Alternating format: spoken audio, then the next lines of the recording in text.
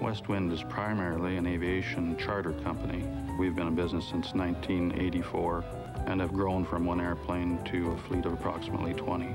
Prices are important, but they're certainly not what drives our business. We're more interested in the quality aspect and the service aspect.